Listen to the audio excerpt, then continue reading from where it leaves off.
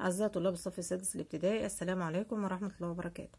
النهاردة إن شاء الله هنقدم نموذج امتحان تربية دينية إسلامية. أولا سؤال القرآن الكريم من سورة البقرة. قال تعالى وإذ قال إبراهيم ربي أرني كيف تحيي الموتى؟ قال أولم تؤمن؟ قال بلى ولكن ليطمئن قلبي. ولكن ليطمئن قلبي. قال فخذ أربعة من الطير فصرهن إليك ثم اجعل على كل جبل منهن جزءا. ثم ادعهن يأتينك سعيا واعلم أن الله عزيز حكيم. معنى كلمة عزيز قوي ولا شجاع ولا قاهر؟ معنى عزيز قوي. معنى فصرهن احبسهن ولا قطعهن ولا أطلقهن معناها قطعهن.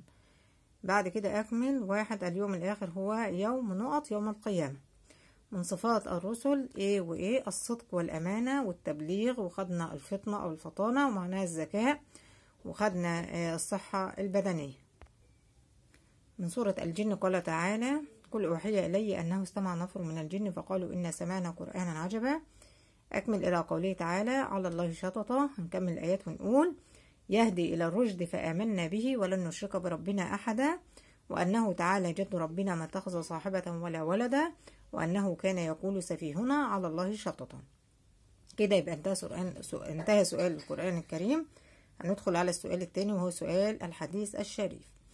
قال رسول الله صلى الله عليه وسلم آية هو طبعا مدين الحديث وسايبني فيه آه كلمات أنا هكملها من خلال حفظ الحديث.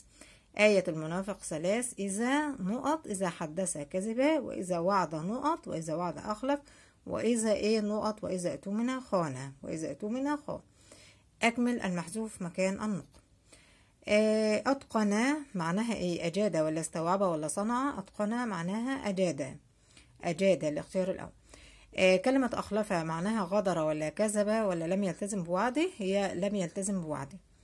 دال علل تحذير الرسول صلى الله عليه وسلم من خلف الوعد. ليه الرسول حذرنا من خلف الوعد؟ لأن خلف الوعد بيعتبر صفة من صفات المنافقين. صفة من صفات المنافقين. ولأن الله سبحانه وتعالى لا يحب خلف الوعد لا يحب خلف الوعد.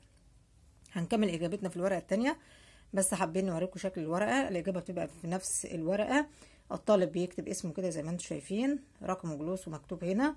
والمادة تربية دينية إسلامية والتاريخ اليوم اللي انت امتحنت فيه وبتسلم نفس الورقة دي بالأسئلة بتاعتها لأنك ما بتجاوبش في كراسة تانية بتجاوب في نفس الورقة. بعد كده معايا سؤال الفروع اختر الإجابة الصحيحة مما بين قوسين. المقصود بالاستطاعة في في الحج. ما المقصود بالاستطاعة؟ لما يقولوا لمن استطاع إليه سبيل. الاستطاعة هنا هل الاستطاعة البدنية فقط؟ يعني إن الإنسان يكون قوي وخالي من الأمراض ولا الاستطاعة المالية معناها إن هو يكون معاه مال يستطيع أن يحج بيه ولا الاتنين مع بعض؟ طبعا كلاهما معا. لازم يكون الإنسان عنده استطاعة بدنية يكون قادر على الحج بدنيا وجسمانيا وكمان يكون معاه أموال تكفيه إن هو يؤدي هذه الفريضة ويترك مال لمن يعولهم. زي ما قلنا. آه الطواف حول الكعبة بيكون كام شوط؟ سبعة ولا تمانية ولا تسعة؟ إحنا قلنا طبعا بيبقى سبعة أشواط. في غزوة أحد استشار الرسول صلى الله عليه وسلم. استشار مين؟ الشباب ولا الشيوخ ولا الشباب والشيوخ؟ إحنا قلنا إن هو استشار الشباب والشيوخ الاتنين مع بعض. استشارهم. لكن في النهاية نزل على رأي مين؟ أو اتبع رأي مين؟ اتبع رأي الشباب لأن هم القوة اللي هتحارب معاه لكن في الاستشارة هم استشارهم الاتنين. أربعة الاتفاق على موعد يتطلب منا الحضور. قبل الموعد بساعة ولا في الموعد نفسه ولا بعده بنص ساعة طبعا لو في ميعاد يبقى يتطلب الحضور في الموعد نفسه. آه بعد كده بيقول لي أعمال الحج اللي هي أركانه النية والإحرام ولا هما معا؟ طبعا هما معا لأن الاتنين يعتبروا من أعمال الحج. ضع علامة صح أمام العبارة الصحيحة أو علامة خطأ أمام العبارة الخطأ. البعث هو إحياء الموتى يوم القيامة صح هو ده فعلا تعريف البعث. خالد ابن الوليد كان قائد لجيش المسلمين في معركة أحد خطأ لأن خالد بن الوليد ما كانش أسلم في معركة أحد كان لسه لا يزال على دين الكفر.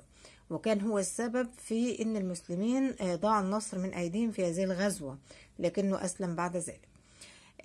سيدنا عيسى عليه السلام من أولي العزم من الرسل صح. الإيمان بالله واليوم الآخر واجب على كل مسلم صح طبعا.